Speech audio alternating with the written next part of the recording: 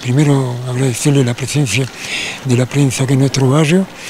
e informarle que soy el nuevo presidente de este centro vecinal de la 18 hectáreas.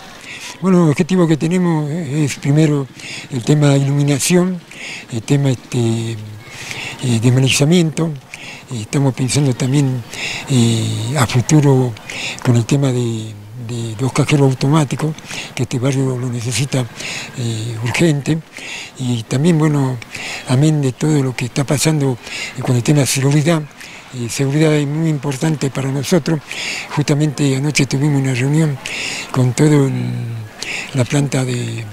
de seguridad, toda la plana quiero decir, como para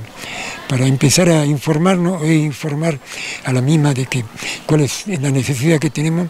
que haya más efectivos policiales aquí en la seccional de la 18 hectáreas. Acompañando, como, como siempre, el Consejo Deliberante, recorriendo cada uno de los barrios, en este caso la, asunción de la nueva comisión directiva del centro vecinal de las 18 hectáreas, felicitar por supuesto a su presidente, a Rivero, y bueno, un centro vecinal con el que venimos trabajando ya hace, hace tiempo, eh, hemos podido colaborar incluso con algunos reflectores para el espacio verde, la verdad que vienen haciendo un trabajo muy importante, también junto al CPB del sector, con Adriana Díaz a la cabeza.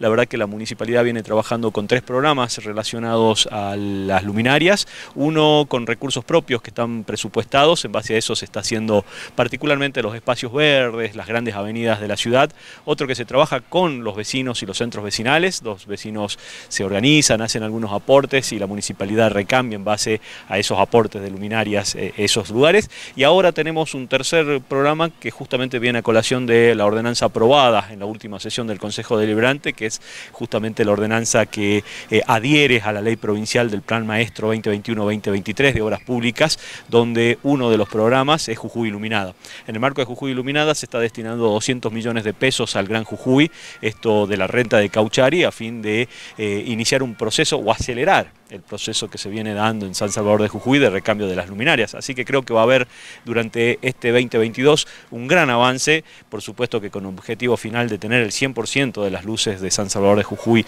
en LED, pero bueno, esto seguramente va a ser un proceso que llevará algún tiempo.